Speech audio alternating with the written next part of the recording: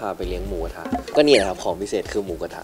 ไม่ได้แกล้งไม่ได้แกล้งคืออยากกินมาสักพักนึงแล้วแล้วก็ไม่ได้กินอะไรเงี้ยก็เลยแบบอ้าไปกินกันหน่อย ร่างกายมันเป็นของใครของมันนะนะครับคือถ้าสมมติว่าตัวเขาโอเค ผมรู้สึกว่าโอเคกับเขาอะไรผมตกใจอยู่ว่าเฮ้ยโอ้โหเบอร์นี้เลยเหรอโอ้โหเบอร์นี้เลยเหรอโอ้ยอย่าไปคิดมากมันเป็นงานอะไรเงี้ยมันคือแฟชั่นโชว์นางแบบต่างประเทศเขาใส่มากกว่านี้อีกเออจริง ๆ แล้วก็บอกว่าเออวันหลังขอดูก่อนนิดนึงนะจะได้แบบว่าเจอของจริงแล้วจะได้ไม่ได้มาเจอของจริงแล้วช็อกเลยอะไรเงี้ย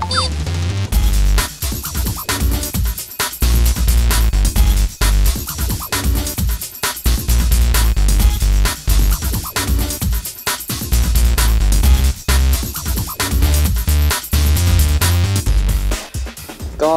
โอเคครับผม เป็นเป็นอีกหนึ่งปีที่หมายถึงว่าเดินทางมาด้วยกันอะไรอย่างเงี้ยตอนแรกตั้งแต่ที่คุยกันเหมือนนิสัยไม่เข้ากันเลยอะครับมันก็แบบว่าโอ้ต้องปรับอะไรหลายๆอย่าง จนรอดมาถึงทุกวันนี้ได้ก็คือโอเคแล้วครับ แต่ว่าก็ยังตีกันอยู่ครับ เป็นไปกินข้าวด้วยกันแค่นั้นครับผมแล้วก็ปิดท้ายด้วยอีกวันหนึ่งก็พาไปเลี้ยงหมูกระทะ ไม่ได้มีขนาดนั้นครับผมก็นี่แหละครับของพิเศษคือหมูกระทะต้องบอกก่อนว่าปกติเขาเป็นคนที่ไม่กินพวกของอะไรพวกนี้เลย ไม่ค่อยกินพวกชาบูไม่ค่อยกินอะไรแบบพวกหมูกระทะแต่หลังๆจะเห็นได้ตาม IG Story เขาว่าแบบเขาไปกินเยอะขึ้น เพราะแบบส่วนตัวผมเป็นคนกินไงพอเวลาแบบก็เลยชวนกันกินจนแบบเออเขาชอบอะไรอย่างเงี้ยสุดท้ายแล้วก็เออมัน คืออยากกินมาสักพักนึงแล้วแล้วก็ไม่ได้กินอะไรเงี้ยก็เลยแบบอ้าไปกินกันหน่อย ไม่ได้แกล้ง ใช่คือคือคือไปกินด้วยกันเป็นปกติอยู่แล้วครับอาหารญี่ปุ่นก็คือเป็นวันนั้นแต่อีกวันหนึ่งก็คือเป็นมื้อพิเศษอะไรเงี้ยครับคือเหมือนกับว่าเป็นมื้อที่เอ้ยอยากกินมานานแล้วอะไรเงี้ยผมรู้สึกว่ามันคือร่างกายมันเป็นของใครของมันนะเนะครับ คือถ้าสมมติว่าตัวเขาโอเค ผมรู้สึกว่าโอเคกับเขาอะไรเงี้ยครับ ไม่ได้รู้สึกว่า คืออย่างที่บอกคือแต่ละคนมีสรีระร่างกายที่ไม่เหมือนกัน ใช่ก็เข้าใจให้กำลังใจเขาก็บอกเอ้ยเนี่ยโอ้โหคนมาคอมเมนต์อะไรอย่างเงี้ยบอกโอ้ยไม่เป็นไรหรอกคือสุดท้ายแล้วมันเป็นร่างกายของเราอะคือเขาไม่ได้มาเข้าใจว่าเออเราเกิดมาเป็นแบบนี้แบบนี้เขาไม่ได้หน่อยอะครับคือเขาอ่านแล้วเขาว่าคือเขาคือเขาเขารู้ตัวเองอะครับหมายถึงว่าเขารู้ตัวเองว่าเออ คือเขาเป็นแบบนี้คือมันไม่สามารถเปลี่ยนแปลงได้อะไรอย่างเงี้ยคือก็เขาก็ได้แต่บอกว่า เออ ผมก็ได้บอกว่าเออเธอช่างมันเถอะมันไม่ได้แบบ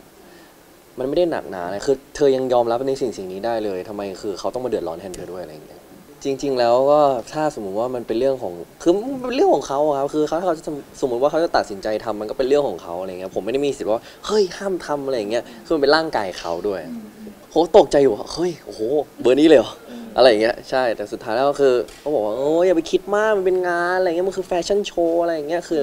นางแบบต่างประเทศเขาใส่มากกว่านี้อีกอะไรอย่างเงี้ยจริงๆแล้วถ้าลึกๆมันก็ต้องมีบ้างนะครับ แต่ว่าพอมันเป็นมันมันมันมีคำว่างานอะมันก็เลยแบบเออไม่เป็นไรคือปกติคือเขาไม่คงได้ใส่แบบเนี้ย เป็นปกติอยู่แล้วอะไรเงี้ยเป็นโอกาสหนึ่งเขาเลยเออเขาก็อยากลองทำแบบนี้มาดูอะไรเงี้ยอยากอยากได้งานเดินแบบอยากลองเดินแบบ แล้วก็คือได้ได้ลองใส่เสื้อผ้าแบบนี้ก็โอเคอะไรเงี้ยครับเออจริง ๆ แล้วก็บอกว่าเออวันหลังขอดูก่อนนิดนึงนะจะได้แบบว่าเจอของจริงแล้วจะได้เจอหลังแบบไม่ได้มาเจอของจริงแล้วช็อกเลยอะไรเงี้ยเขาก็โอเคครับผมเขาบอกเออได้อะไรเงี้ยเดี๋ยววันหลังจะบอกก่อนอะไรคือเหมือนกับว่าวันนั้นมันปุบปับปุบปับคือผมก็ทำงานเขาก็ต้องแบบไป fitting ด้วยความเร่งรีบอะไรเงี้ยครับผม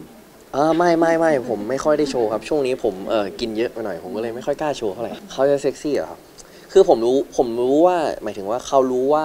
ตัวเขามีลิมิตที่แค่ไหนครับผมรู้สึกว่าเขาทำอะไรในสิ่งนี้ผมรู้สึกว่าผมก็ให้เกียรติเขาในการที่เขาอยากจะ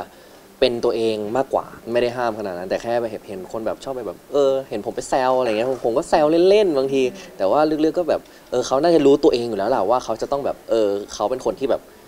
คุมเขาเรียกว่าอะไรอะคุมโทนหรือคุมอะไรนะหมายถึงว่า มีรู้ตัวเองอยู่แล้วว่าเขาควรจะได้แค่ไหนอะไรอย่างเงี้ยครับผม